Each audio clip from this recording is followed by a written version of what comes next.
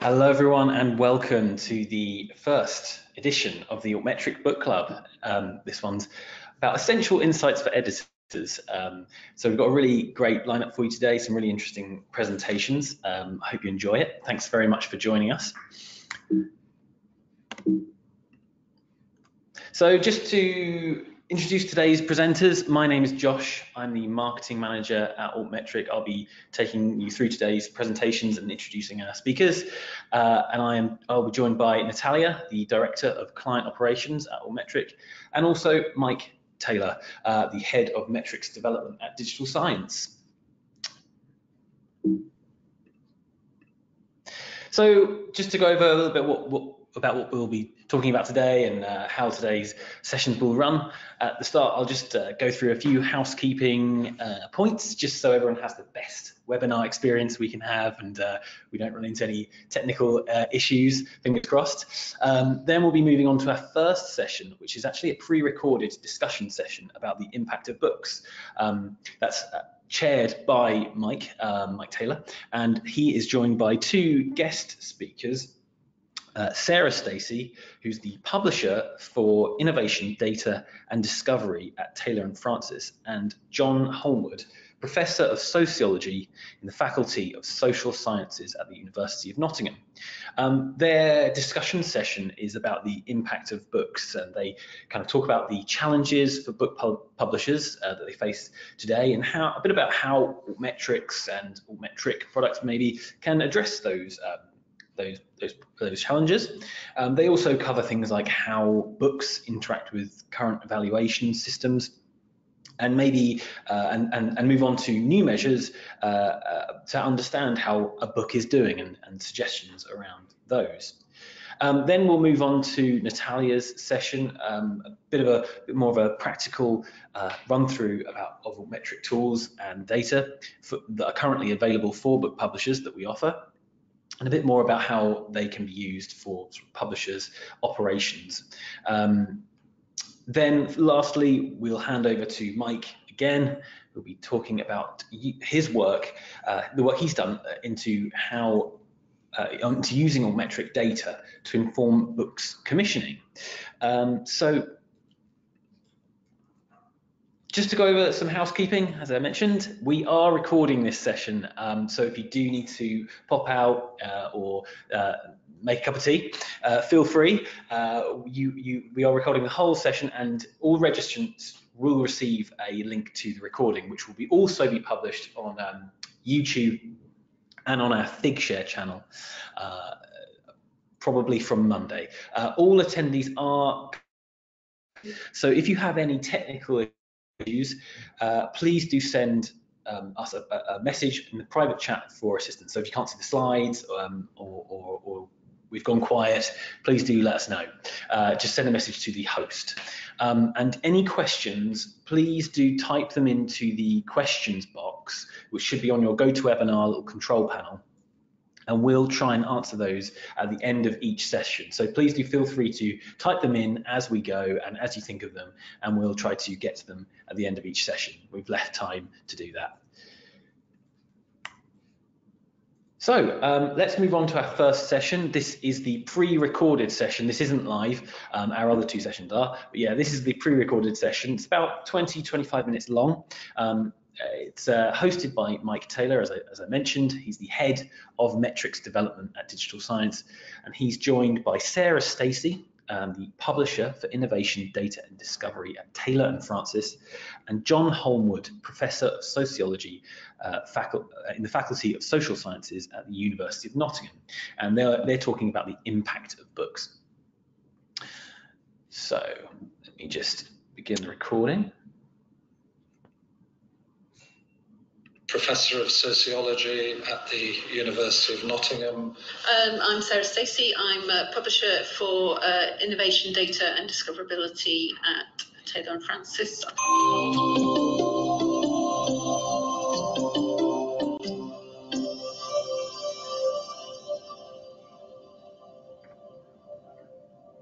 Wherever you have a uh, a, a, large and let's say robust evaluation system, it tends to favour journals over books, and it tends to do that both because of the uh, ease with which metrics can be used in, in the process of evaluation, but also the way in which it encourages a certain tendency towards quantity in terms of discrete outputs, and therefore that encourages people to divide scholarship into articles rather than into monograph form.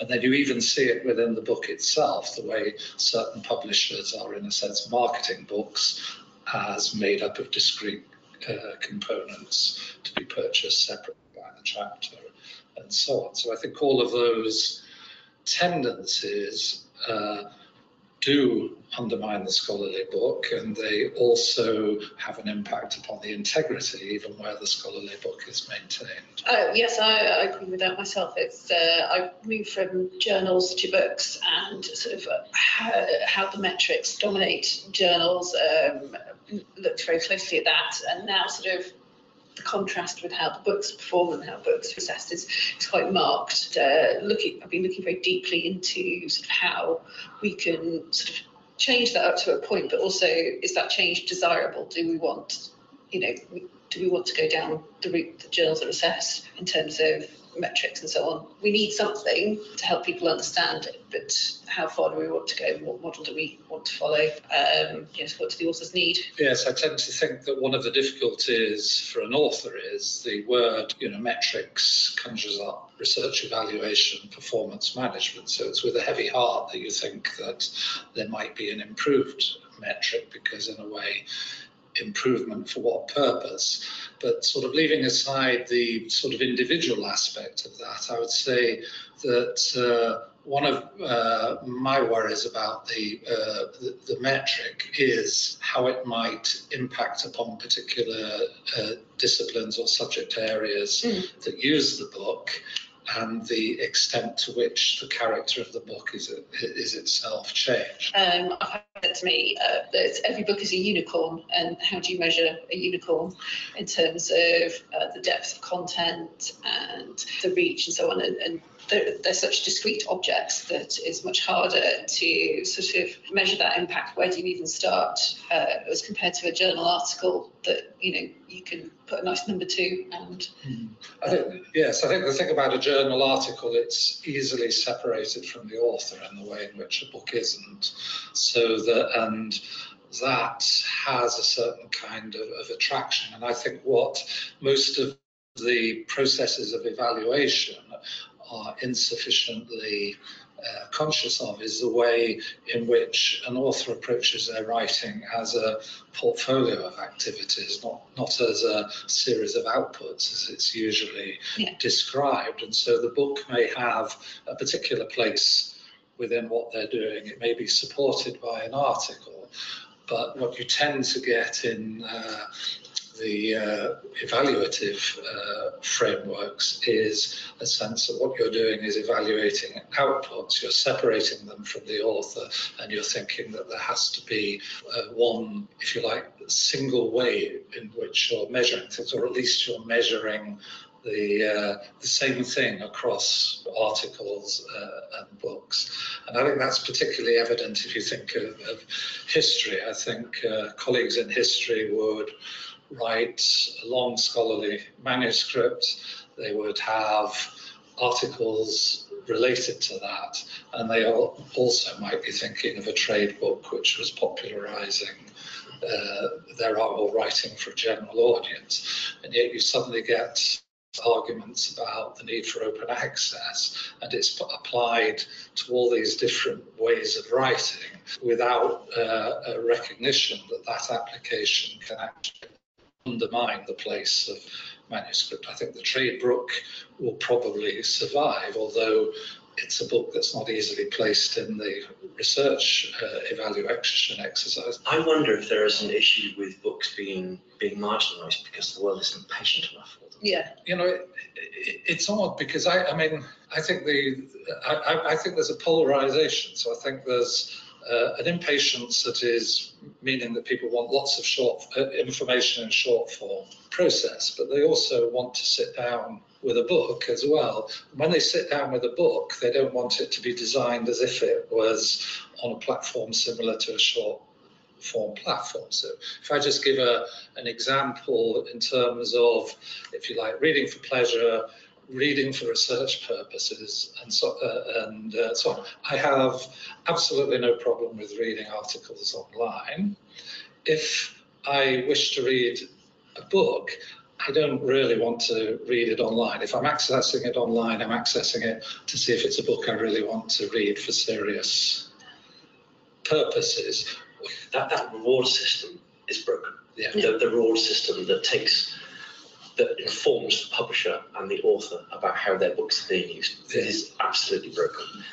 However, however we go about doing it, it seems to me that these systems are not giving a benefit. I mean, as, as an author, as someone who has you know, funding and who has responsibilities to report their scholarly activity, being able to say how many people are reading my book or where my books are being used is, relatively speaking, an important part of that feedback. Yeah, I think I think so, but in in a way, that's where I think uh, the metric model hasn't really uh, caught up because to some extent your audience your audience may be quite small and it may be a key you know a key audience that is small. That's why i made the distinction between say the scholarly book and the uh, and the trade book. You say well scholarly book is going to have a smaller audience. It can be of absolute fundamental importance. It's the basis of the trade book that comes later. The trade book will be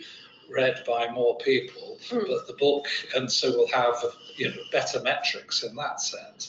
But it's a scholarly book that is vital from the point of view of you know creating that environment. Feeds into what you're saying about patience and um, you know people want to know what the impact is of their book. They want to know that they're reaching people. But is, it something like the cited half-life of a scholarly book is 30 years and you know you can't wait around for your promotion for 30 years well maybe you do but um, I- ideally you want to know that oh, it was that short no. and to be able to say, you know, my book is having this impact, my book is being read, it's being used, it, um, you know, the, the, the way citations work for books, it just does not flow through that at the speed that people need. They want to know six months down the line, my Yes, book's but- read, that, you know, I can put my um, request for uh, promotion through or whatever, or funding. But that's the paradox where I think that's what I'm saying, where I think it's not, you know, that things have divided and separated rather than moving in, in the same way. So in the past, if you were going to judge the, you, you did judge in a sense the half-life of the book by the process, by the initial process of reviews. So was the book receiving reviews? Did people think it important enough to write a notice about the book and so on? And that was the interaction between the journal and the uh, and the book. The journals were an important source of information about what books were published, but essentially re- reviewing has disappeared because the pressure on journals is to give over more of their space to articles rather than to reviews. The reward system of academic life doesn't reward reviewing books.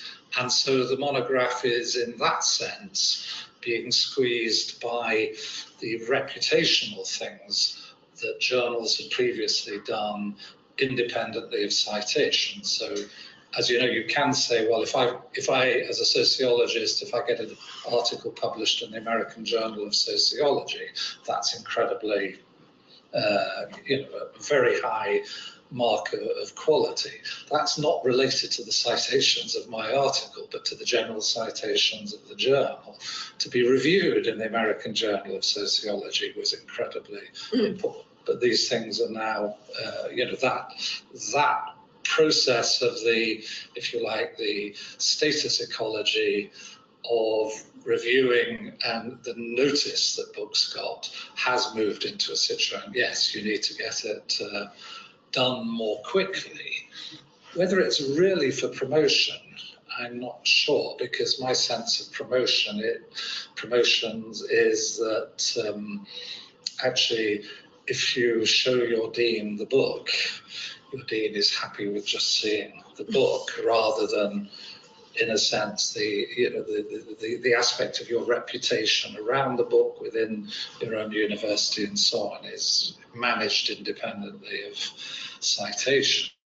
I think it's the publisher who wants to see citations because, particularly if they're a commercial publisher, they have a shorter time through which they're having a, uh, you know, if you like, turnaround on the sort of revenue for the books. Interesting. I mean, we I don't really, well, uh, we haven't really looked at citations uh, for books. It's not been a big thing for us until fairly recently, the last few years. It is we're looking at other measures for how the book does and lovely if we get citations um, and you know our authors are quite pleased but it, it's kind of it's been very much secondary i think that's starting to shift mm. um, i don't know which way it will go and um, the fact that you know the data isn't there in term, uh, for so many things um, and it's just much harder to find out citation information for books and things like that um, is an issue. So I don't know how far it will go and how desirable that I is. I think there's quite a,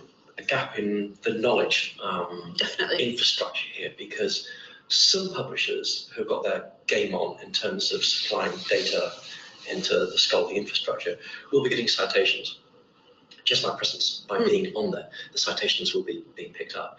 Whereas books that aren't yet on, you know, the major platforms that are uh, that are gathering together citations won't have any citations. Mm.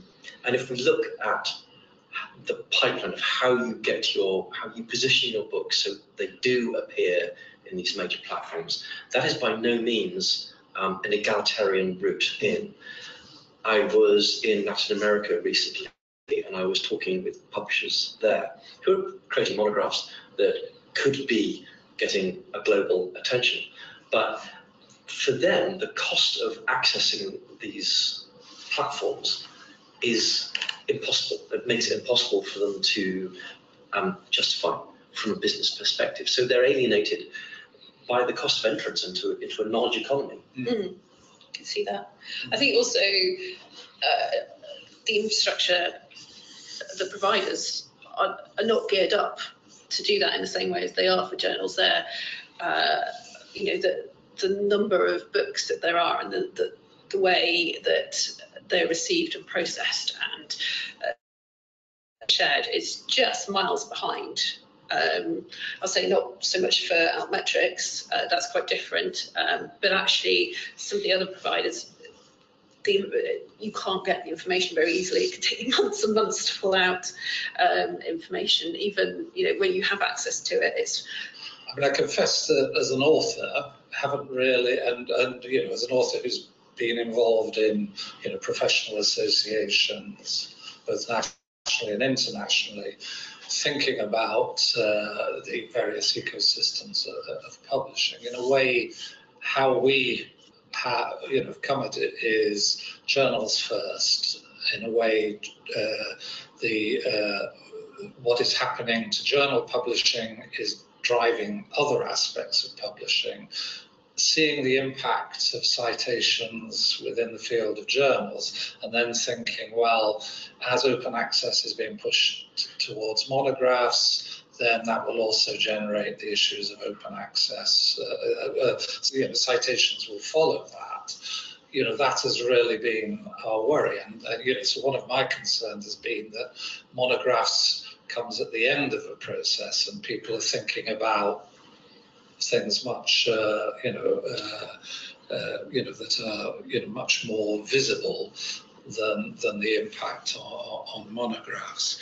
But the, the one thing in terms, you mentioned Latin, Latin America, within the British uh, publishing context. one thing that's always struck me as very odd, and particularly in connections with the International Sociological Association, the Indian subcontinent is somewhere I think has got an incredibly strong scholarly uh, uh, uh, uh, contribution to make, and yet that scholarly contribution is virtually invisible to us, and it's invisible to us because of publishing models, partly because of print publishing models, that means that you are publishing books uh, in cheaper editions within the Indian subcontinent.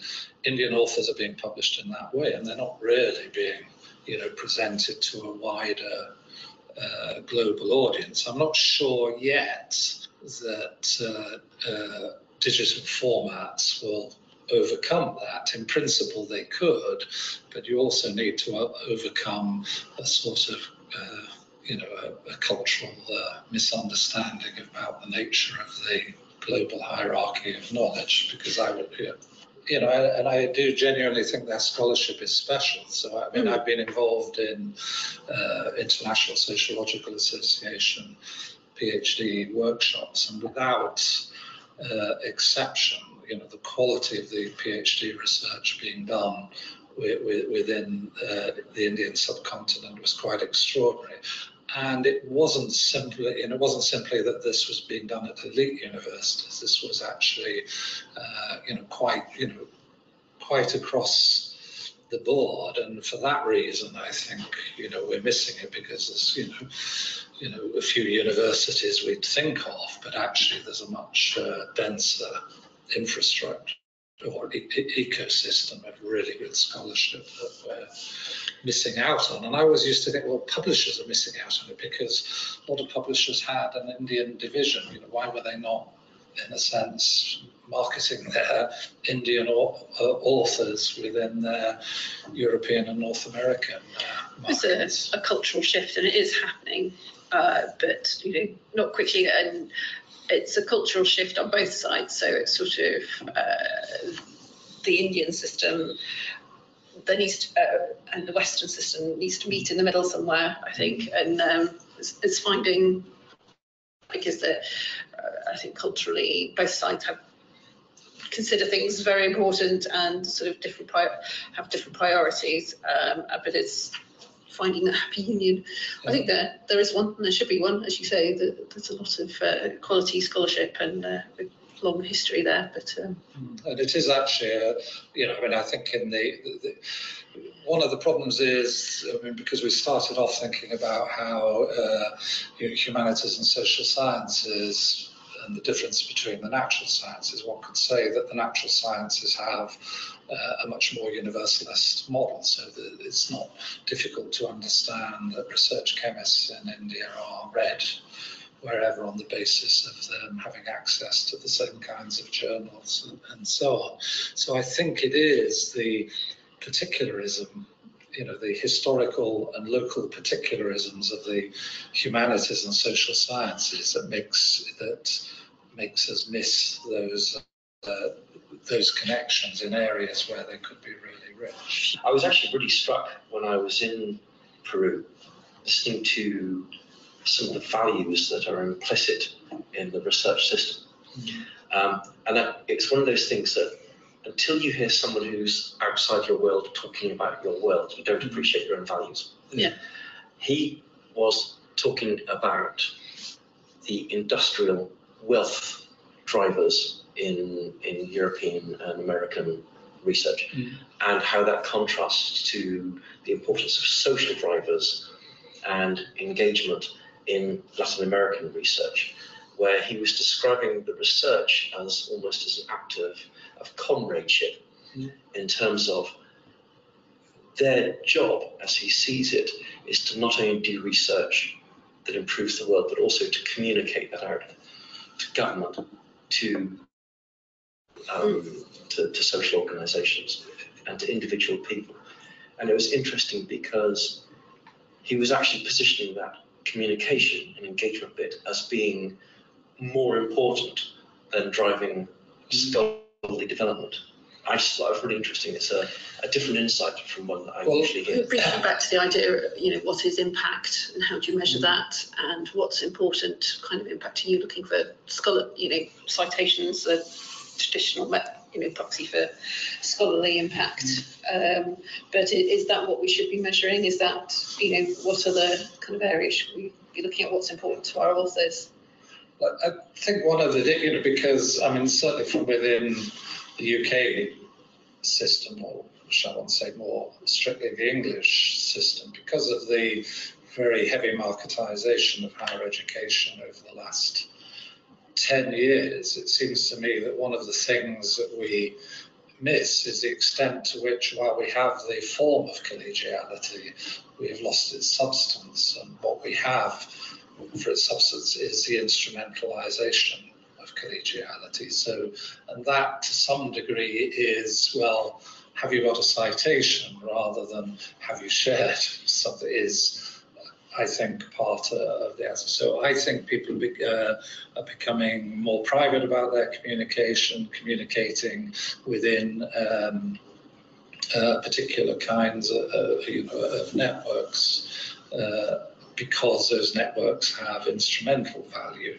And by instrumental value, I mean sort of measurable in the, you know, in the set sense in the way in which rankings themselves have become a, uh, a currency within the, within the academy. I mean, my sort of favourite uh, story about this, and it's uh, maybe I shouldn't say this is work, but at one point it had uh, uh, one of its uh, policies for encouraging impact was that we should collaborate internationally because international collaboration, you know, co-authorship increased your, your citation but you should, uh, you know, collaborate with somebody at a higher ranked university.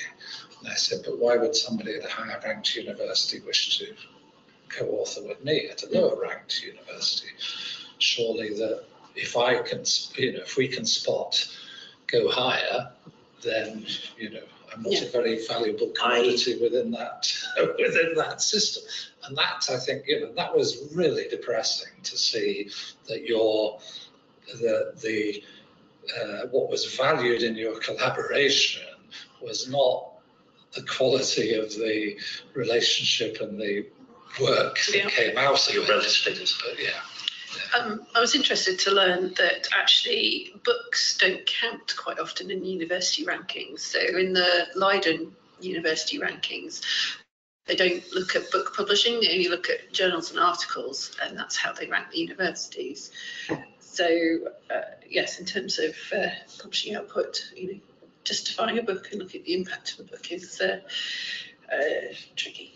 I suspect that's because of the partiality, mm. because so many books don't get indexed. Yeah. don't get citation. That's true. I think it, it, part of it depends on whether the professional association is strong enough to, to resist that. So I would say in the British context, uh, the um, let's say the canary in the mine is the uh, Royal Historical Society. So forgive me using that analogy, because they, I think, are the strongest, most profoundly collegial, and uh, and smart in terms of and what they see as their collective interests uh, as historians. So they've done, I think, an incredibly good job of holding on to the nature of their own system of uh, reflection and evaluation upon the, the, status of work. And that means because within the British uh, research evaluation system, it's still a peer-reviewed evaluation system. And although metrics have a background effect in it, I would say metrics are really there for uh, you know, university managers can look at the metrics to see how things are going.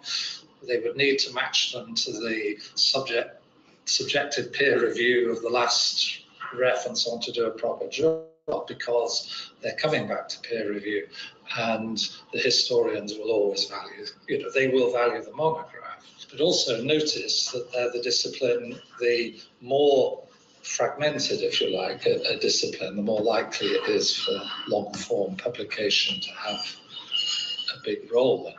I would say it has a big role because uh, the monograph is really quite important for changing the discipline or changing the language of debate in a way in which in the, the way I characterize the other discipline, the article will, you know, will do it. And I think that's my worry about the relationship between articles and uh, monographs is that it can have a very conservative effect in disciplines which, you know, paradoxically in disciplines which are not themselves organized around a consensus which changes. You know, that's, This appears to be born in the data. yeah, If, we look at uh, a topic, so one of the topics I looked at recently was uh, the field of sexual harassment and particularly how the Me Too phenomena interacted with the scholarship of sexual harassment. And there you see some quite interesting phenomena because if you look at the publishing record over the last two or three years, over this, you know, the last Me Too phenomena, you do see this rise in articles but then you see a drop in articles, you see a rise in monographs, and then so you, you get the sense that there is a phasing going on, that where the debate is, where the argument is, is changing in terms of that length of thought.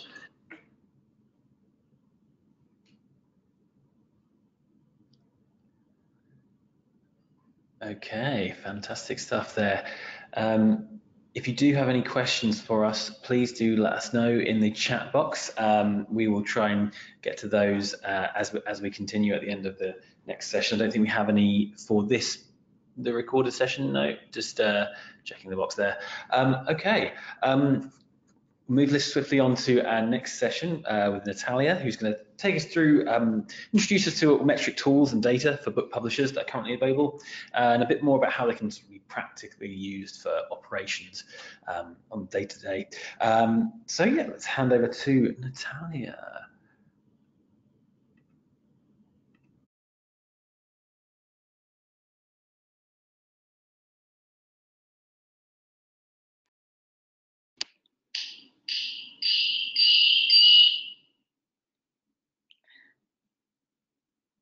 Hello, everybody. Um, thank you very much for joining us on the webinar today. Uh, thanks for the intro, Josh. Um, so, as Josh mentioned briefly, um, I'll be talking through the products that are available at Altmetric and also talking a little bit about the Altmetrics data that we have in Altmetric that surrounds books um, and looking a bit more closely at a study and Mike, you just heard on the, the previous session, and who will be talking after me, um, looking at like the recent trends that we've seen um, in altmetrics data, um, both in our database and more broadly um, surrounding books. Um, so I run client operations here at Altmetric, and I also work quite closely on the product side, thinking about how we can support um, our customers and our users to better understand discussion and attention um, to books and monographs. So without further ado, so yeah, so I'd really recommend um, looking at our latest, one of our latest blog posts. So it's a few weeks ago now that Stacey and Mike put together, which looked at um, books data.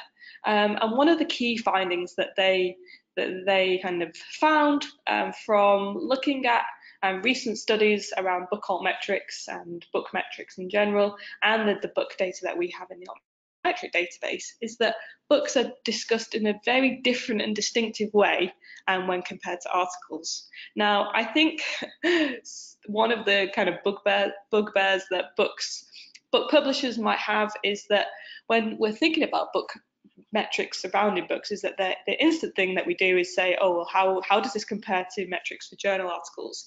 And I don't necessarily think that is a useful way of kind of framing um, thinking about our our, um, our uh, workings and how we analyze attention to books. Um, I think we really need to look at books in a different way than we would journal articles and consider that they offer quite a unique contribution to the scholarly landscape.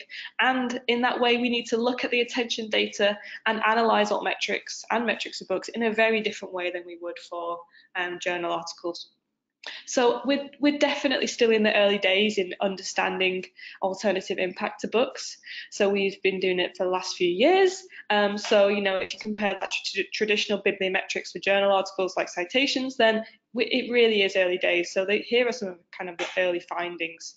Um, but one of the things that we want to emphasize is that at Altmetric, we really want to kind of support the future success of books and monographs because they do contribute such a unique um, uh, benefit to scholarly uh, uh, research.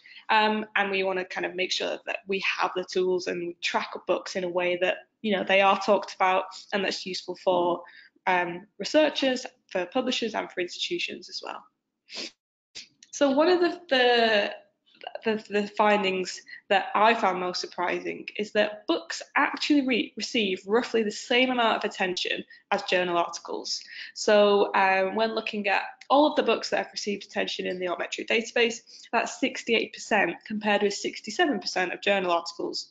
So I think traditionally we might think, oh, there isn't that much attention to books, maybe it's not available online in like the traditional places that we might go and find um, alternative metrics. Um, but actually the findings were that 68% of books that Altmetric has tracked uh, and have in the database actually have attention. So I think that is very promising that the attention is there people are talking about about books across the attention channels um, that we listen to. Um, so yeah, I think that's very promising. In comparison, though, we found that only 1.8% of book chapters that we have in the Altmetric database have received attention. So that goes to show that people do tend to share the full book, even if they're talking about a chapter. Um, another thing is that I've done lots of kind of um, interviews with book publishers over the last few years as we've been like developing uh, Altmetric for books and talking to publishers about what do you currently do to understand um, how your books are doing. How do you know if your book is successful? What metrics do you have to hand?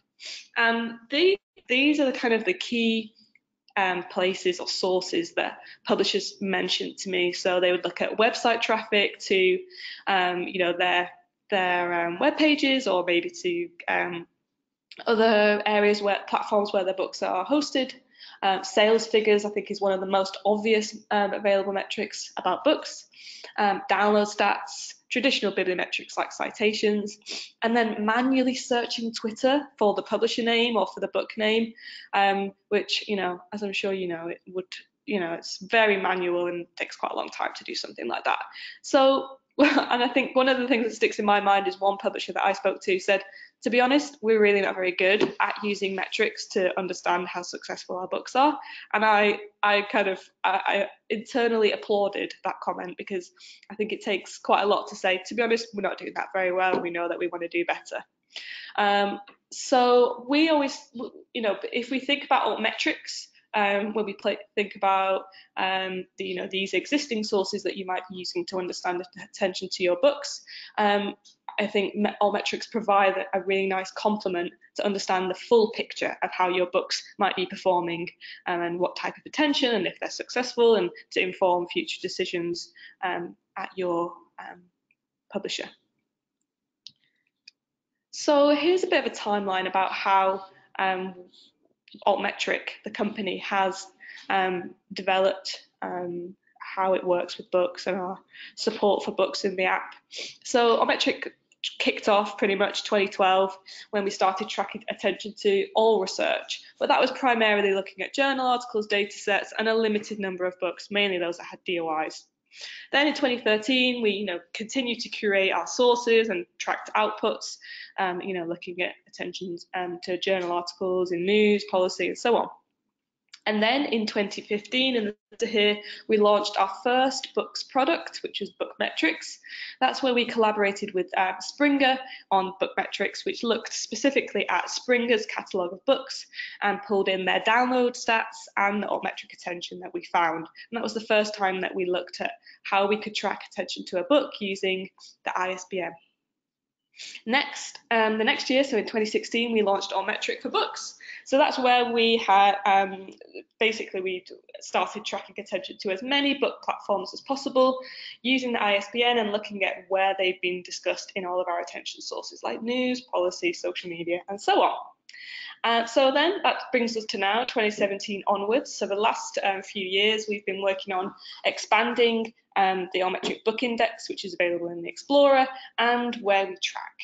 Um, so first of all, um, in terms of tracking, if someone mentions a book from the publisher page, we can track that. But also if it's mentioned from Amazon or Google Books and that's shared on Twitter, for example, we pick up on those mentions. Um, and also expanding the book index by supporting more platforms. And one of the challenges that we've had um, in building the book index um, and the support kind of internally and technically is making sure that we can support all of the unique um, platforms where books are hosted. Um, and that's something that we've been working on over the last few years. I'll come to more of that in a minute and talk about metadata, one of my favourite topics. So, what have we learned about books over the last few years as we've been building um, support within our tools, talking more to publishers, uh, thinking about how we can develop in the future?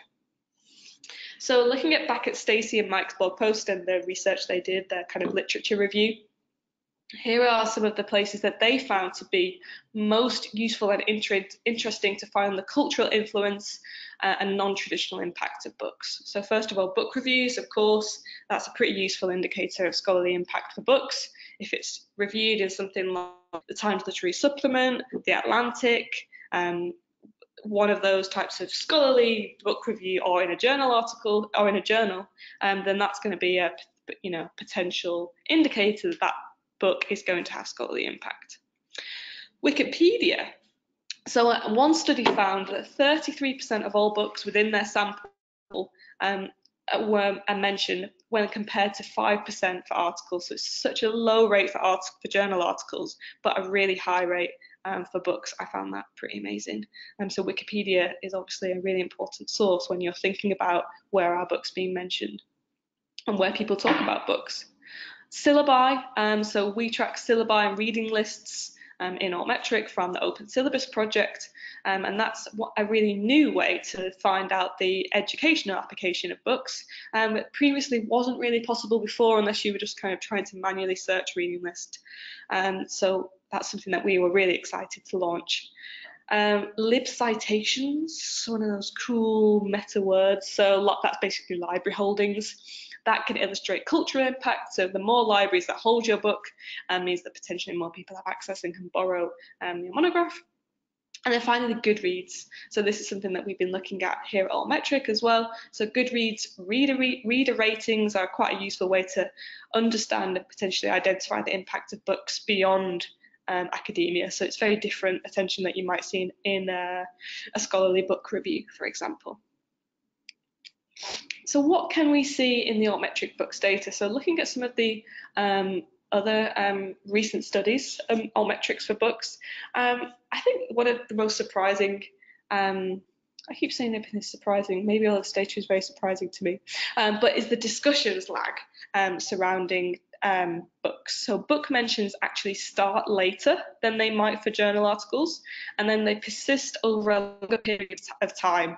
So for example, Wikipedia, news, blog mentions start later for books, and then they eventually overtake um, an article's annual online mention counts. So rather than um, book mentions starting immediately upon, from publication date, like you might, like we have seen with journal articles, um, for books we've found um, that the mentions tend to start later, persist over a long period of time, and then overtake um, articles, which I think is amazing. That data does exist. And then a, a, small study, so a caveat that this was a small study um, that, that Mike Taylor did, was um, looking at the possible open access advantage um, for open access books. Um, and, and that was quite clear that um, in this small sample, um, open access monographs did have more attention than closed access books. So what are some of the challenges that we faced here at Altmetric when tracking attention to books? Um, so you can see here on the right, people don't always link to books. So this was pretty easy for me to find just doing a search uh, uh, for a new book on Twitter. So here's someone sharing their book. They share a photo of the book. They've put a few uh, hashtags in the tweet. Uh, they mention the um, professor or the institution, I think that might be, but they don't actually link back to the actual book. So we've had questions such as, you know, can you track attention to books through the Twitter images? Like we would really love to do that, um, but right now it's not something we can support. So it, it's also about raising awareness of best practice for how you might want to share a book by, you know, linking back to the, the, the book page on the on the platform so that we can actually pick up on the attention. The next thing is that the, there's no ISBN resolver. So for those of you familiar with DOIs, obviously there is Crossref, which is kind of the central resolver for, for DOIs. that nothing like that really exists for ISBNs. So we rely on collecting ISBNs and the metadata from publisher platforms um, kind of consolidating that in the Altmetric database. And that obviously has its challenges if there's not like a central registration place where we can go and collect that data easily. And then finally, a huge challenge that we faced is that publisher sites sometimes do lack the metadata that we would need. So when I talk about metadata in this context is, you know, if we see a link to a book, we usually go to the page and collect the metadata, the, so the description. So we collect the ISBN and the title and the author from the kind of the code of the page, and that doesn't always exist. So we've been working with ONIX feeds and um, working with publishers to adapt their, their platforms, um, but as you can probably tell that you know there are there are there's still work to be done in, in standardizing metadata for books across um, the various places that they live online. So moving on to our tools and services.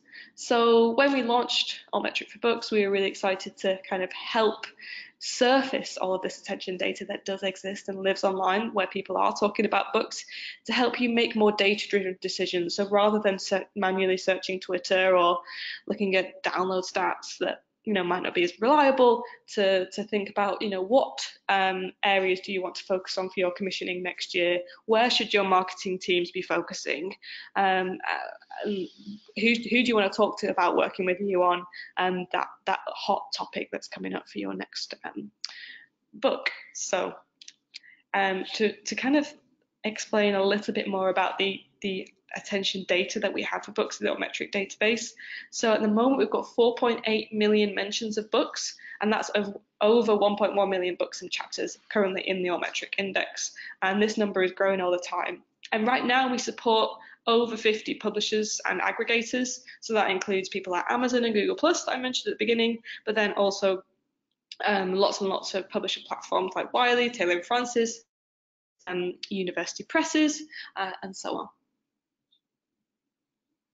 So how do you access the Altmetric book data?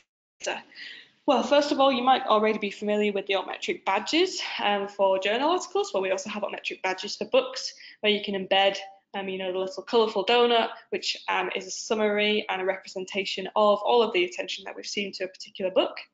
Um, so you might have seen those on publisher platforms. Um, we also have the Altmetric Explorer, and within that, you access the Altmetric Book Index, which is holds all of those 1.1 million books that we've tracked.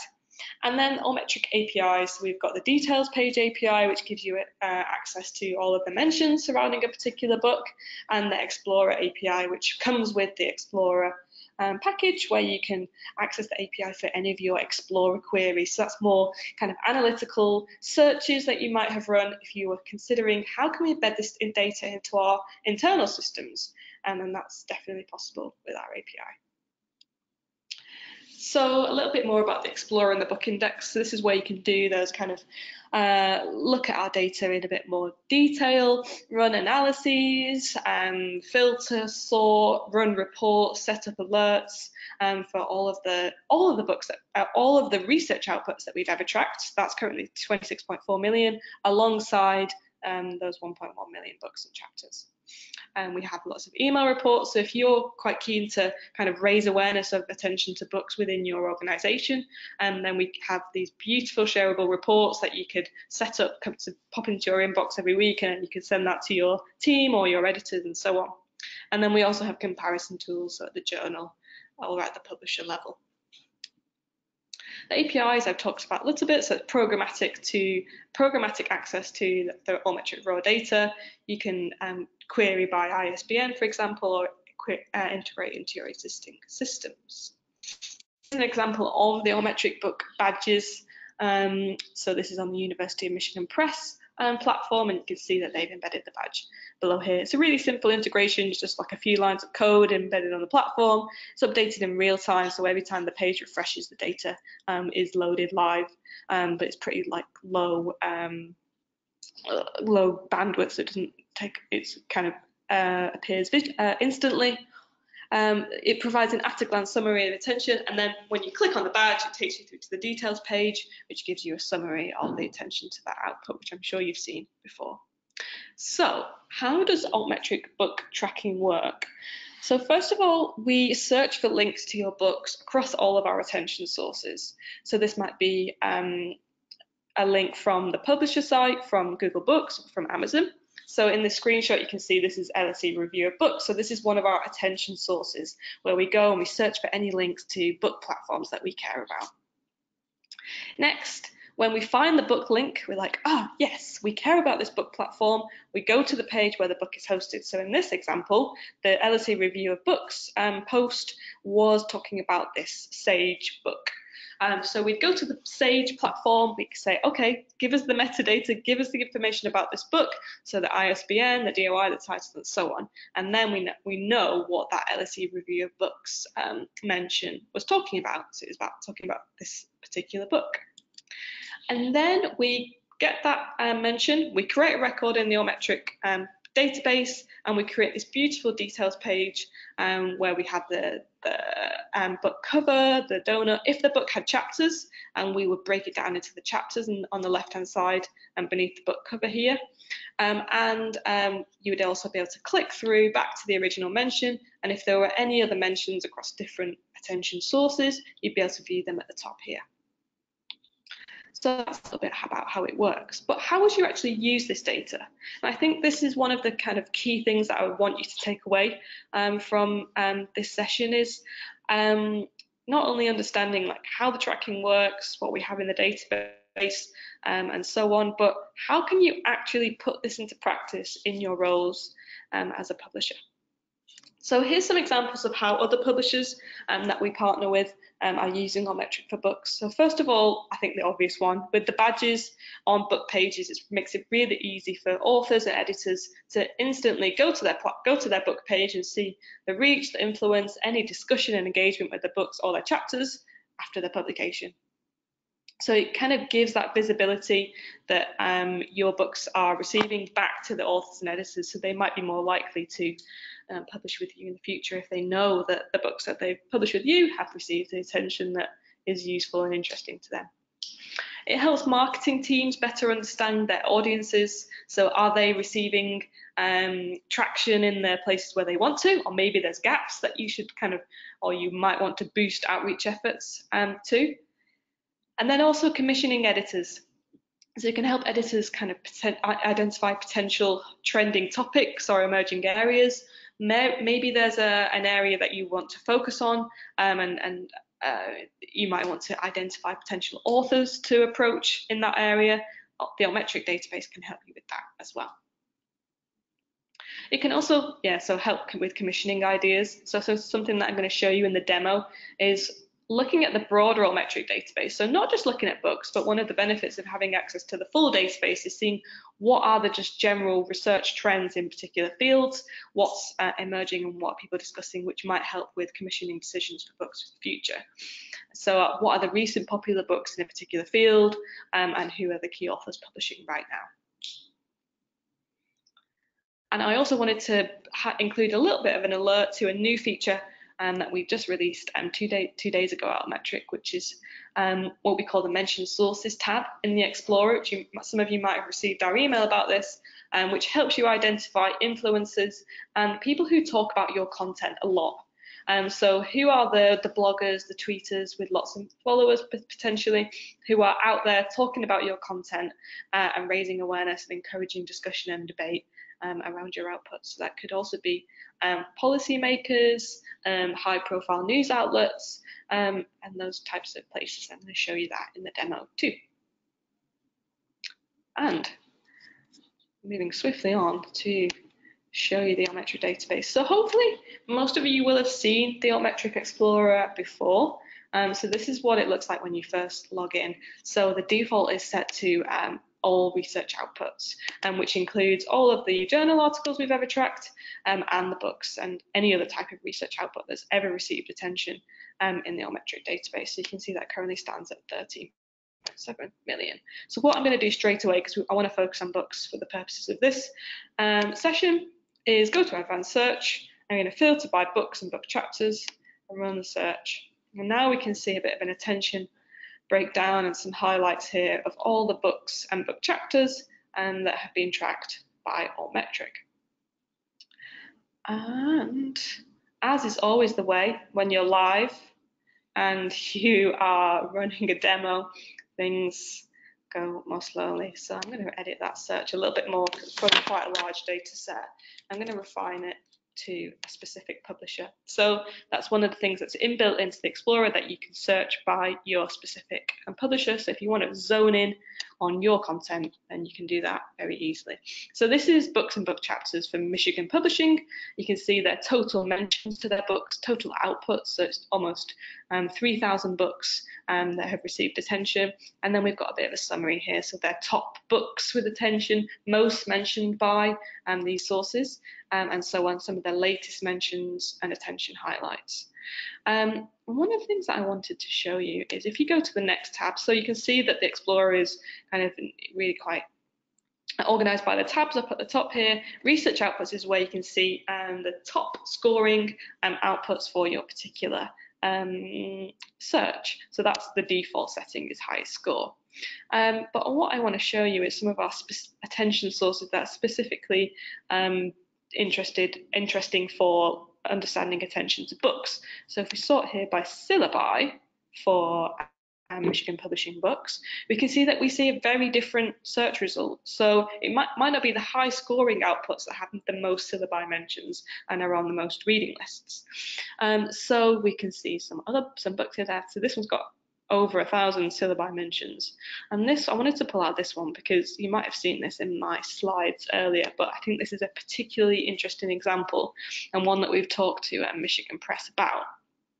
So we can see from, um, so this book, Bad Boys, um, it's got an altmetric score of 209. It's been mentioned across a range of um, attention sources, including it's got um, 441 citations in Dimensions. So you can see it's already got pretty high scholarly impact. Published in 2000, so there's been a bit of time for those citations to build up. Um, we can see it's got a little bit, quite 25 news mentions. Um, and one of the um, kind of remarks that's from speaking to Charles Watkinson from um, the University of Michigan um, Press is that one of the things that they found by looking at the altmetric data for this book is that it had syllabi mentions that they weren't aware of at all. Um, and if we go to syllabi, we can see that it's being added to 67 syllabi from 26 institutions. Um, and this was data that they weren't aware of at all until they saw the altmetric book uh, index. And you can see that most of those syllabi and those courses where this book is being used as text are sociology courses. So um, they plan to use this information when they publish a new edition of this book to make sure that it's marketed um, to those, those, those educational courses uh, and sociology in particular. So I thought that was particularly interesting. So another thing I wanted to show you about this book is the news mentions and the, the um, kind of attention over time. So if I grab the DOI for this book, go back to the Explorer, do a quick search, excuse me, so by searching just for the single identifier, we just get obviously the, the, the results for that one book. And what you can do is you can see the timeline of attention to a specific output. You can do this for a whole group of books. You can do it for you know an entire publisher. Uh, in this case, I'm just interested in looking at the timeline and how the attention developed um, for the book Bad Boys. So you can see that it's got um, quite a few mentions, but there was a, you know, it was published back here, so it's quite a slow uh, pickup which was kind of backed up by that um, uh, that study that I mentioned earlier, where there is a discussion lag for metric books, that it tends to be slower and then it builds up and then it eventually overtakes articles. And you can see that kind of um, borne out in the data here. But I was interested to see this spike in attention um, to this book um, in, in September last year. So what you can do is you can click on the, the graph, go through to the um, news mentions, and one of the things that we're, we're really kind of um, we think is really important in Altmetric data is that all of our data is fully auditable. So you can always click back to the original mention and see what that discussion was around your book. So here we can see that this book was discussed quite a lot as kind of a, a research background to Supreme Court scandal, which kind of passed me by, um, but you may have heard about this firestorm about Supreme Court judge. So that's something else that you can find in the altmetric data, that if something is has be, maybe we call it Sleeping Beauty. It may have been published 10 years ago, but there might be something going on in the news right now that means it's talked about a lot, in this case, Supreme Court scandal, um, and then you might want to kind of promote it more yourselves in terms of just um, making sure that it's out there and it can be discussed um, as a, you know, a reliable source in understanding any particular topic that's um, popular right now. So that's looking at syllabi mentions. I also wanted to give you an example of how you might use Altmetric data more broadly beyond the book index to help with commissioning um, decisions. So you can kind of harness the power of all of the um, mentions to all of the research outputs that we've tracked in Altmetric. So let's say, for example, if we're thinking about autonomous vehicles. So if this was an area that you were thinking about developing, potentially publishing some new books, you just do a keyword search for um, vehicles, and then we could see what are the top research outputs. We can have a look to see um, publication dates, so what's the most recent publications in that particular area, or what has been mentioned most in the past year um, about autonomous vehicles. We can also go to the mentions tab. So um, here you can um, drill down to particular um, news source, uh, attention source types. So if we look at, first of all, um, patents, well, actually, I'm going to go to the timeline and do patents quickly because I think this is a bit more visual. If we go to patents in the timeline, you can see that so from 1990, there weren't really that many patents that talk about autonomous vehicles. But then over the last kind of 10 years or so, it's really ramped up and it's become more and more popular as an area where people are registering patents. Um, and then on the policy side of things, um, if you're particularly interested, you know, what are policymakers saying about patents right now, uh, saying about autonomous, autonomous vehicles right now, um, you can see that there's more things about kind of transport planning, urban planning, those types of areas that, that policymakers might need to consider if they're thinking about self-driving cars. But then, if we look at it from a slightly different slant from news outlets, and apply and see what they're saying about the research about autonomous vehicles is slightly more negative. So how do we feel about our cars means on the road to a driverless future may not be so smooth, um, much more kind of a negative sentiment when you look at the um, actual mentions in the news. So by looking kind of more closely at the attention data to a particular topic, you might get a sense from different attention channels, from patents to policy to news, to see is it positive attention? Is it potentially negative? Would that help you with your decisions to um, uh, publish a book in this area? Maybe you would find some useful authors um, and so on. Um, and then finally, my last example is looking at um, our new influencers tab. So I'm going to do a quick search for a publisher. Might have heard of this one. And then go to our, I'm going to go and look for books and book chapters in particular, run the search, go to mention sources, and what we see here now is the, the news, the, the outlets or the attention sources that are talking about Wiley books the most. So we can see here with lots of tweeters, if we can sort by the Twitter follow account, for example, and you can see who are the most, you know, potentially influential tweeters. You know, there's lots of tweeters here with over a million followers that are talking about Wiley's books online. Um, you can also look at um, specifically news outlets that are talking about Wiley books, the Forbes, the Conversation, New Statesman. So you might want to go and look specifically at those mentions to find out, oh, what are the New Statesman saying about our books? Um, and is that interesting? Uh, is that the kind of the way that we hoped it would be picked up? Are there gaps? Are there things that we need to respond to? And so on. So hopefully like, that gives you a bit more of a sense of how to access books data. I think one of the most useful ways you can use the Explorer to kind of bring the questions that you want answered. You know, what are you talking about in your commissioning meetings? What are your editors asking? Bring that to the Explorer and, and kind of plug it in. We've got lots of other filters that I won't walk you through now, but oh, you can search by open access status. Um, you can search by a particular publisher. Um, you can search by specific ISBNs if you had a whole group of ISBNs that you wanted to analyze, compare with a different publisher, and then you can do that kind of benchmarking and subject searching in the Explorer as well. So um, what's coming up next um, in terms of um, developments for books here at Altmetric. So we're going to be adding some new book-specific attention sources um, over the next year or so, which we're very excited about. Enhanced um, Explorer reporting for books, so making it even easier and quicker to get interesting data for books out of the database. Um, the challenge about um, books metadata is, a, is still persistent, so we'll be working with our customers to help kind of give advice and consider how we can improve books metadata and also raise awareness of you know sharing practices about books to help inform those behaviors and make it easier for you to listen and know what's going on and what people are saying. Make sure that people link to books. That's the first thing. None of those photographs of books on twitter please. Always include a link. So um, if you have any questions um, please feel free to put them in the chat box or you can always um, email us support@altmetric.com thank you for listening everybody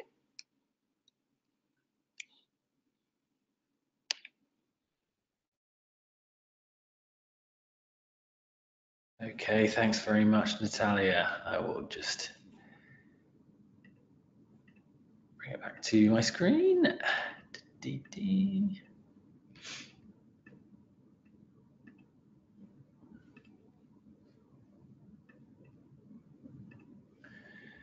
If anybody has any questions for us, please feel free to pop them into the questions box. Um, we'll try to answer those. We've got a little bit of time. I'm just going to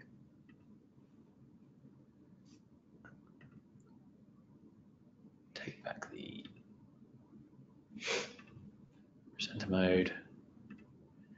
Yes, so do do let us know if you have any questions. Do pop them in the questions box. Um, we'll try to get get uh, get get through to those. Um, but if there aren't any at the moment, I can't see any.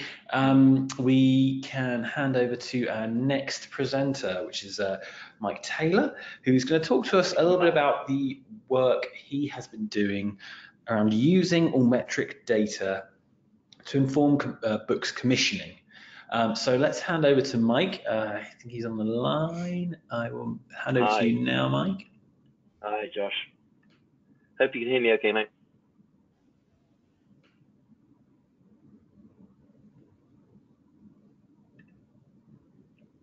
So, hi, good afternoon, everybody. My name's Mike Taylor, and, I'm going to be talking. I'm going to be Sorry, I could hear myself speaking somewhat off-putting. Josh, is there anything we can do about that? Sorry, Mike. Uh, it should be okay from now. Okay, doke. Well, I can. I'll take my headphones off anyway, and uh, that way it won't be so disturbing for myself. I hope. So, my name's Mike Taylor. I'm going to be talking about using altmetric data in in the development of um, sharing, developing, working up um, business cases for publishing books, for finding reviewers. Over the last year or two, I've been working with a number of publishers and we've been developing use cases that use altmetric data to inform book commissioning. And I really like to um, make sure that when, when I talk about this, we, we do talk about informing it, we do talk about enhancing the role that people have. Um, and it's not a question of you know, replacing anybody's work, but rather we're producing data that makes decision making a little bit more rich, a little bit more evidence based. So my background is working in publishing. I worked for a very large publisher for 20 years and for a commercial publisher even before then. And for about half of that time, I was working in various developmental capacities. So I'm really accustomed to looking at data, to trying to read the runes, to try and make sense of the trends that are going on there. My kids like to call me a data analyst. I think that's really unfair because you know I don't know a great deal about data analysis itself. What I know about is about books and altmetrics and other forms of scholarly data. So today's presentation is going to break down into, into three parts. First of all, using altmetric data, and in particular, downloading the data so that you can use it. Now, one of the things that I know someone who's worked in the publishing environment, you have your own systems. You have your own cataloging systems. You have your own anal analytics very often. So using Altmetric Explorer is going to be a mix of importing your own data from elsewhere, exporting data, and you know, showing you how to use Altmetric Explorer is, is going to be part of a little bit of what I'm doing here. but it's in particular about importing and exporting your own data. So importing and searching a list of identifiers. Natalia has shown you some of these interfaces, so I'm not going to go into it in great detail, but simply go into that search area where you've got a list down there, add scholarly identifiers. We support many different identifiers. We have DOIs, we have ISBNs, we have ISSNs, we have handles, we have arXiv IDs.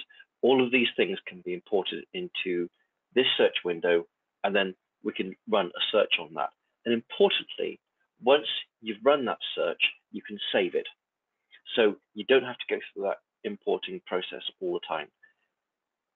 The Altmetric Explorer allows you to save and name that. You get updates on on those um, on that saved list. It makes it a snap to make sure that you're analyzing um, analyzing most efficiently. So having imported our list of identifiers or in some other way identified the list that we're looking at, we can start thinking about the research outputs. And for each one of these tabs that we've got going across the screen, we have different types of information that's on display, and we can also export that data. So in this case, the research outputs, which is the first tab that you see, it's a list of all the publications with their altmetric donut scores. You can do various things about sorting for attention, but most importantly, from my point of view, as someone who isn't a data analyst, but who is really interested in using data, you can export the data and you get a spreadsheet which looks a little bit like this. And I know that's the two details too fine for you to look at, but you've got the, uh, the metadata that you require um, and all the counts here for the news, the blogs, the policies, the patents, the Twitter, the Mendeley, and so forth. If you're doing any kind of comparison using an in-house tool, or you have some kind of complicated Excel development um, that enables you to do portfolio analysis, this is the way that you get hold of this data. It's a straightforward process, very simple, easy to customize, and you can come back to it at any time you want. The timeline tab shows us the progress of altmetric attention over time. So rather than it switches the focus from being focused on the book, the chapter, to the time, to the month and the year. And again, there's a little export this tab, you hit the download, and now rather than getting a breakdown by document, you get a breakdown by time. And again, you know, we've got this great graph there. You can muck around with that. You can there are various options on that graph. You can customize it to your heart's content. But if you're talking about exporting that data and importing it to your own analytical tools, this is the way that you can go about doing it. The demographics tab very interesting, showing you whereabouts your attention is coming from, different kinds of attention, and likewise, you can export the data into an Excel spreadsheet, breaking down the number of posts, the number of profiles, and so forth by country, by source, etc. Again, likewise, get the same data coming out through the mentions, so we can get a list of all of the document, uh, of all the links in, in Wikipedia in this particular um, in this particular search, and also in our new mention sources tab. This is a, a new feature. It's a, I'm, I'm really excited about it because it answers some of the questions that we've been getting in a number of the workshops that we've held with publishers about how do we target our communications more effectively. The mention sources is this new tab, which allows you to access this data. Just started this week, I believe. So moving on, let's talk about understanding the data because altmetrics have been very widely researched.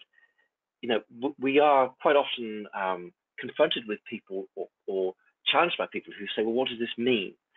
Well, the great thing about this is that it is it's an academic field in itself. There are a number of conferences, there's a number of journals um, that publish in this area. There's a new journal called Journal of Altmetrics, which is perfectly dedicated at it. You know, and if we go to dimensions, this happens to be the free search, and we do a search for altmetrics or alternative metrics, you can see that there are 16,000 research outputs that mention altmetrics, talk about altmetrics, are investigating it.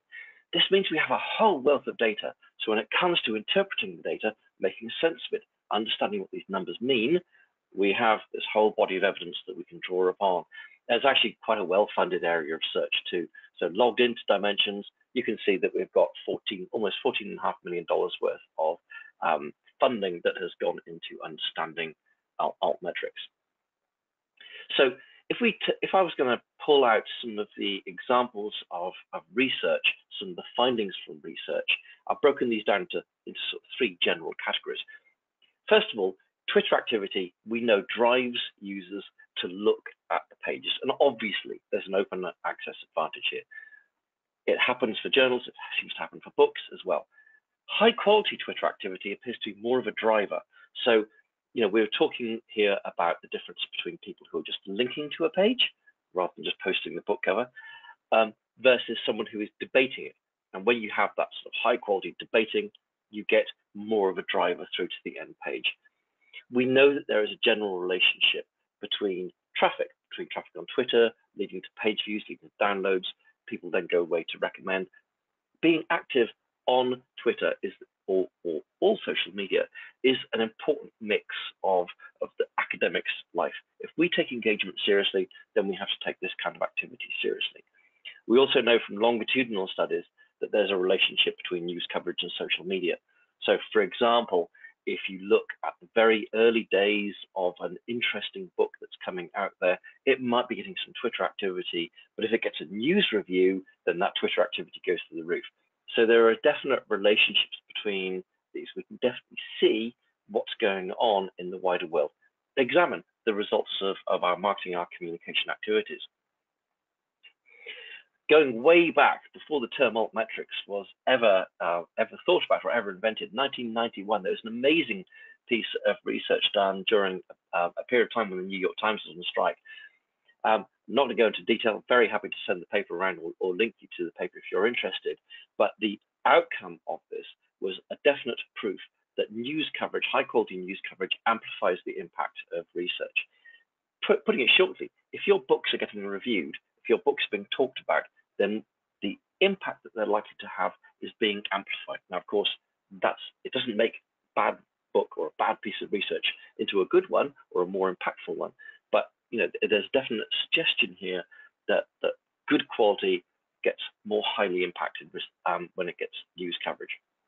Mendeley users, one of our most highest researched pieces uh, of attention that we have, um, definitely indicates that when people hit the save button on Mendeley to save a book, they are doing so with the intention of reading it, recommending it, or citing it. It's a really strong lead, um, and it's one of the interesting things that Mendeley usage correlates pretty well with ultimate citation. So we can, to some extent, we can use Mendeley as a as an early predictor of citation behavior. I'm going to look at that a little bit later. There are significant field differences and I'm this is going to feature quite heavily in my use cases. Um, and I've got a little slide that go, drills into it. Not just field differences. So not only is there a difference between say engineering and psychology, there's a difference between engineering in 2018 and engineering in 2008. Now that's kind of self-evident. Things change, things have time. It takes a while for books to have their impact. You know, we have this wonderful advantage in books publishing that we're not just flash in the pan, we're not just here today, gone tomorrow. Books have sustained attention over years. And they are, and, you know, one of the pieces of um, evidence that I offer up in that blog post that Natalia mentioned is that books continue to gain attention many years after they've been published in a way that journal articles just don't get them. There is a clear open access advantage for books. I've looked at this in more detail since uh, since I wrote that blog post, I have got a paper that I'm working on, which I'm hoping to publish. So I'm going to show you a little snippet of that.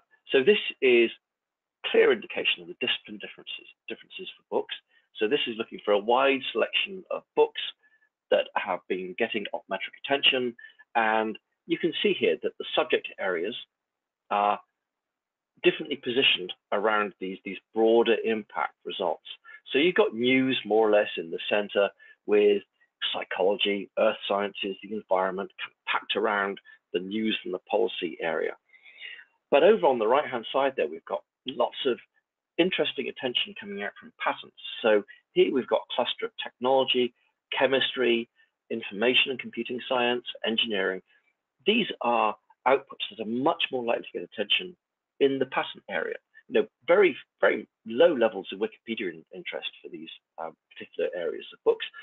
Whereas we go over to the arts and the humanities and social sciences, and this is where we see that great cluster of, of disciplines focused around Wikipedia. So when we're thinking about expectations of what kinds of books our attention, our books are going to get, then we really have to bear in mind who's the subject area, what um, what what what can we expect from uh, from research. So what I'm really getting at here with these differences in years and in in um, in subject areas and so forth is that we really need to understand that when we're making a comparison, it needs to be a like for like comparison. And this is one of those things that people talk about when they talk about responsible metrics. You know, comparing um, comparing a, a piece of fruit with a fish is just not going to give you any kind of information. What we do need to think about is we're comparing subject areas or topics that are very close to each other, similar in time, and understanding insights through relative performance is definitely the way forward. Now, one of the ways that I think about um, and that I've been encouraging the editors that I've worked with uh, over the last year or so is to, when they're thinking about an emerging area, make comparisons with a similar area that they know already. Build on the knowledge you've got. That's the best way of, of leveraging those insights and to use the data to, to make those comparisons. Don't go to come at it cold use existing knowledge that you know, make those comparisons relatively understanding through a relative performance. And we can use Explorer's search feature, some of the things that Natalia just touched on there, to create some of these benchmarks, to create some of these baselines.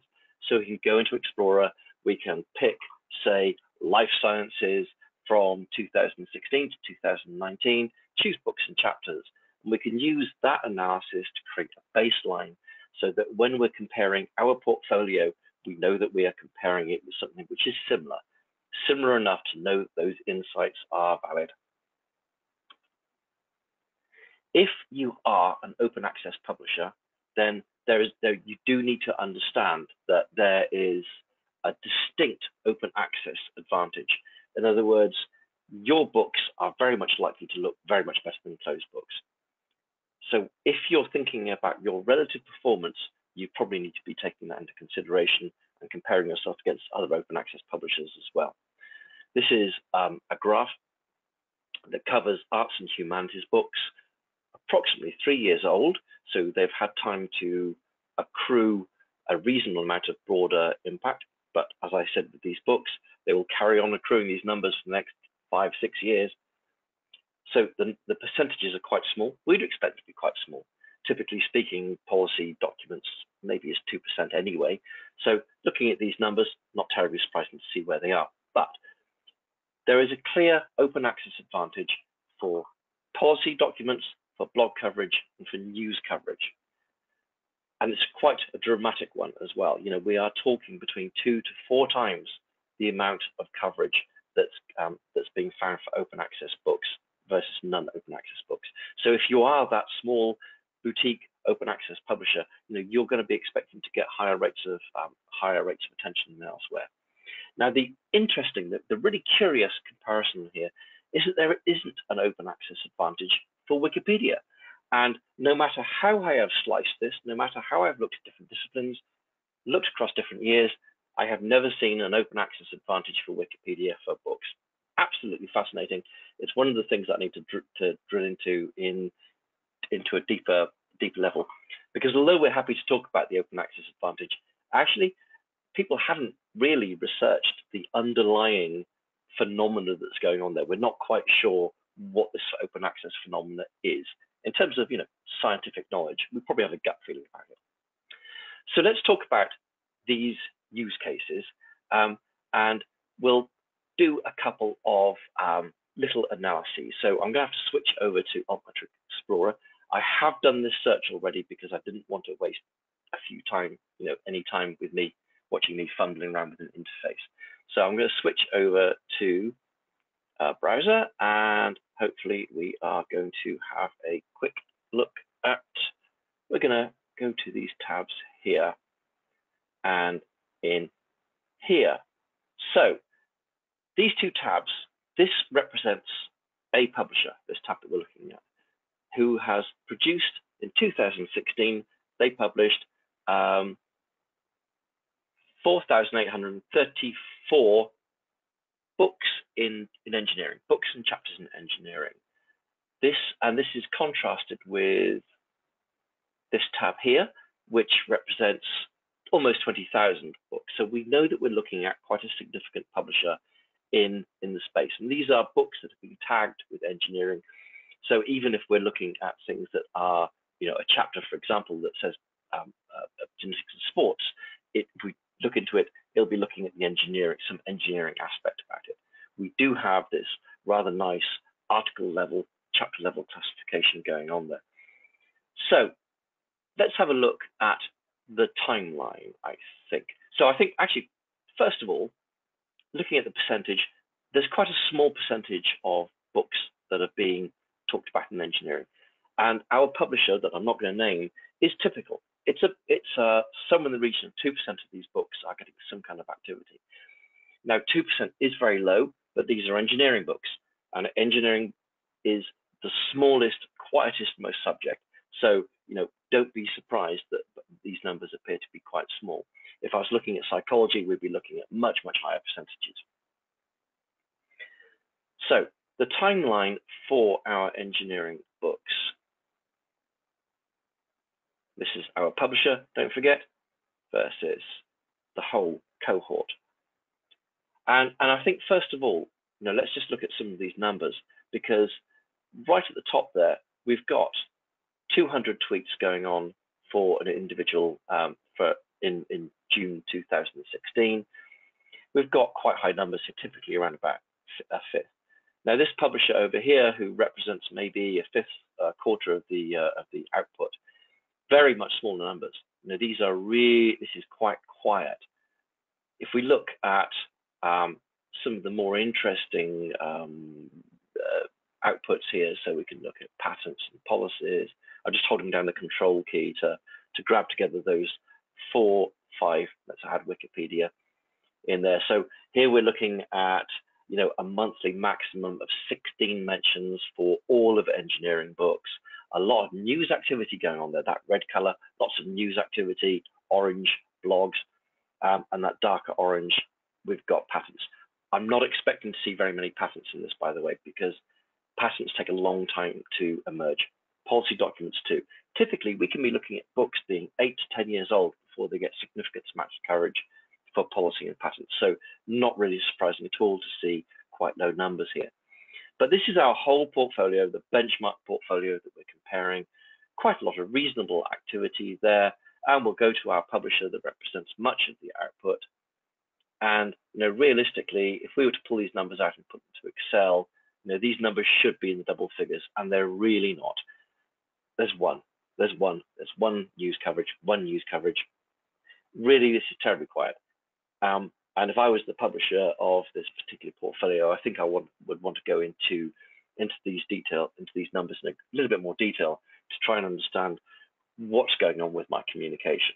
Because these numbers have an effect, right? We know that those numbers have an effect. We know that if people are seeing this, if they're talking about these on Twitter, if they're reading about it in the news, we know that it's having a downstream effect in terms of optimizing the impact that our books are having. And this particular publisher appears to be having not much of an impact. So let's um, let's clear that, um, and we'll have a little bit of a look at the next um, next uh, option, which was to look at the difference between 2014 books and 2016 books. So these are the same engineering, same engineering list. I've gone to um, I've gone to the search thing. I've chosen engineering. I've chosen chosen the year, and these are the outputs that I'm looking for. Again, books. So 2016, four books, and you know, not unsurprisingly, this is really typical. I'll just make this a little bit more nice, a little bit nicer to look. Typically, very typical. The these great big peaks in Twitter, straight out of the door. As soon as things get published, they get Twitter attention. It doesn't last very long. There is a little bit of a long tail where you get media coverage including as well, but typically media, Twitter is the is the dominant metric that happens right after publishing. And you can see this on this longer graph. So this is our, our 2014 um, books being published. And you know, 2014 got this lovely big arc of Twitter activity around there. But look what's going on later, because these books can continue getting attention. So even three years after, three, four years after being published, five years after being published, here we go. We've still got news attention going on there. You know, it's not at massive levels, but this these books will now have gone past the um, the books, sorry, the articles that uh, the journal articles that we would have expected to see. So you know, again, looking at this lovely graph going on there, really rich, lots of variety going on there. Patents really begin to kick in about what three, four years after publishing. This is when we start seeing patents creeping in. We've got some policy documents going on here as well. Um, again, you know, this is five years, five years, six years after after a book's been published, just starting to start starting to increase. And this is one of the reasons why when you're thinking about altmetric, you want to think about these indicators over time and how they're accruing. Because particularly when we're thinking about reeditioning books, you know, we might be doing so on a two or a three or a four year cycle. It's worth going back looking at how those old editions are being reached. Because the interesting thing is when you start seeing some of the people who are using them in patents. You know, th these are sources of attention that you would never normally come across. Policy documents. We had um, a really great example where we were looking at someone's portfolio in the area of uh, sustainable um, agriculture. Um, and some years after their book had been published, they were being picked up by um, by some international agencies and who were being cited in their policy documents. And you know, my reaction to this was this was a really great example to use that as a source of information for reviews. Because when you're thinking about a new edition of a book, have a look who's been using it in the policy documents, who's been using it in Twitter, who's been discussing it. These are people who are engaged with content already, who are highly likely to have interesting opinions about how to position that book, how to communicate that book, and that broader impact, that question of broader impact that we're all talking about. How do we how do we um, make the most of our books? So before I wrap up, because I know that we're right at the end of uh, of our time here, I think, um, Josh, you can you can jump in and tell me if I've got any more time. I just wanted to do a little bit of analysis on the blogcast that we paid earlier. I talked about um, the, the interaction between the field of sexual harassment and Me Too. It's a subject that's very um, that's been very interesting, and I thought that it was quite a nice idea to draw the draw a comparison between the field, the emerging field of sexual harassment, um, as an academic study versus uh, feminist feminist studies, a more broader subject.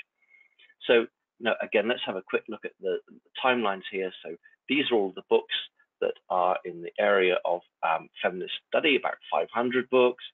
These are the books about uh, sexual harassment and Me Too, about 293, all of which have really emerged in, in, the, last, uh, in the last couple of years. And in fact, you know, look at that graph. It tells you the whole story about how the, how the growth, how there has been a growth of research in this field if we were to look at the number of academics working in studying sexual harassment, going back a few years, there are a handful. You know, you could have done a seminar with all the people who are interested in it. Now, if I try and estimate the number of people who are working in this field, we're talking about several hundred.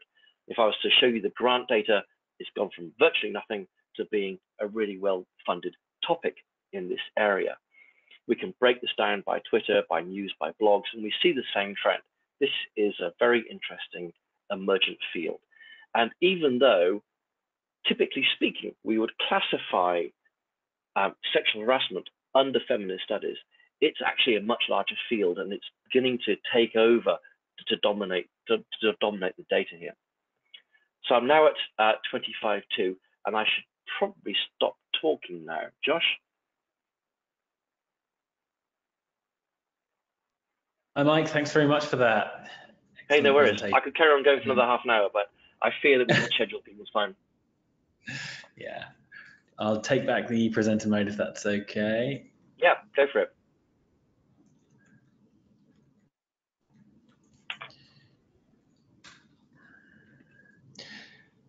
Okay, everyone, thanks so much for joining us today. That brings us to the end of our, of our, of our presentations.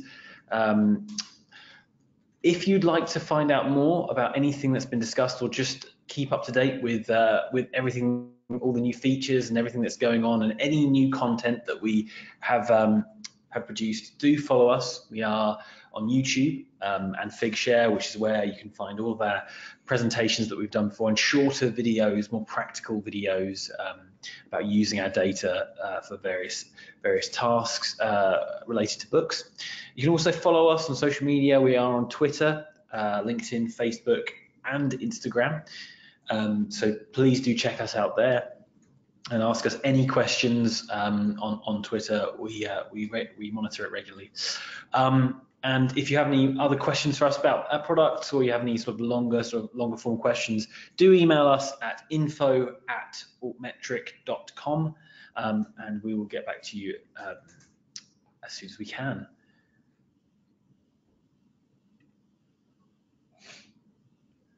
So that brings us to the end. Thank you again so much for joining us. Um, like I say, the recording will be sent round um, on Monday, um, and uh, and it will be available on YouTube as well uh, and Figshare. We'll, we'll, tweet out when it's ready as well. Um, but yes, thank you so much for joining us, and we hope to for you to for you, that you join us for another one of these um, uh, book club style webinars. We should, we hope to run another one uh, at the start of 2020.